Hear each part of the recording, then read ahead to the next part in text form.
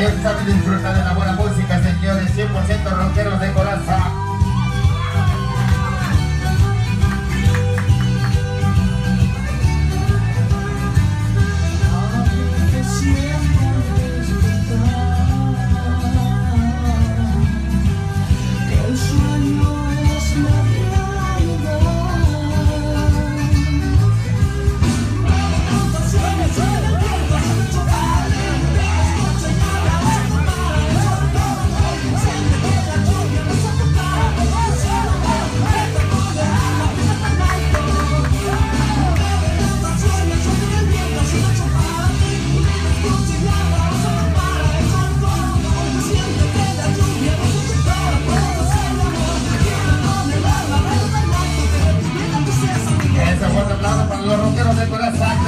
the